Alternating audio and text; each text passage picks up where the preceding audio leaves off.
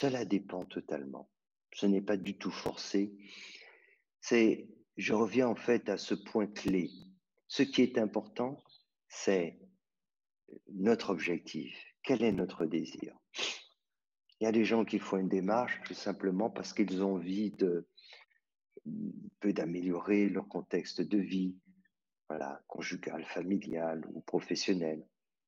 D'autres envie d'explorer certaines voies euh, non conventionnelles. Si la démarche, elle est de s'engager sur une voie vraiment spirituelle, alors ce chemin, on ne le connaît pas. Et il peut passer par différents, euh, par différents circuits. On ne sait pas.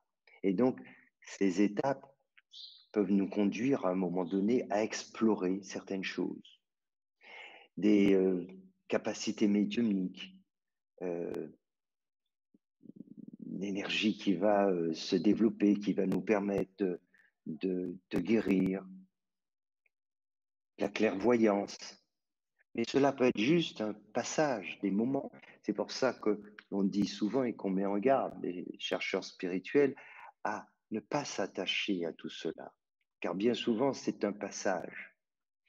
Mais dès lors qu'on veut se poser en se disant Oh, c'est formidable, et on s'arrête là, et on veut commencer à exploiter un don, alors ça peut nous arrêter complètement sur ce chemin.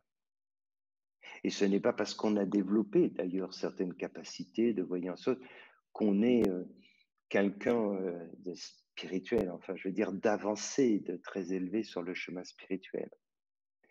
Donc, dans la démarche qui est la nôtre,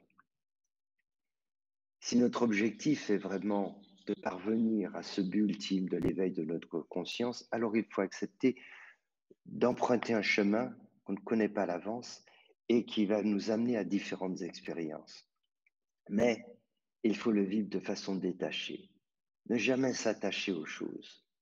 Car ce qui peut être une aide à un moment donné, une étape indispensable à vivre, peut devenir le pire des obstacles si on s'y attache. C'est très important. Vous voyez, c'est comme la métaphore du, radeau qui va nous aider à traverser la rivière parce qu'il nous faut aller sur l'autre rive. Et donc,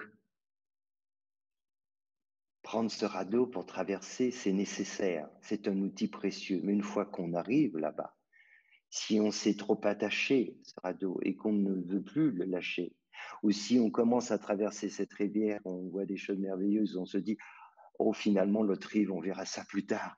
Et puis on continue à faire son petit circuit, alors que ce n'était pas la direction, on s'égare.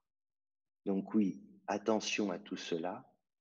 Et donc, notre, je dirais, notre guide doit être toujours euh, cela qu'on doit avoir à l'esprit, c'est de se dire toujours, garder à l'esprit, c'est quoi mon objectif? Et si l'objectif, c'est l'éveil de sa conscience, alors il faut avancer.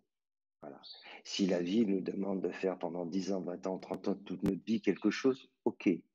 Mais ne pas s'attacher à cela. Et bien souvent, on passera par différentes étapes, différentes expériences qui seront nécessaires pour euh, ouvrir, ouvrir notre esprit, nous libérer, libérer du mental.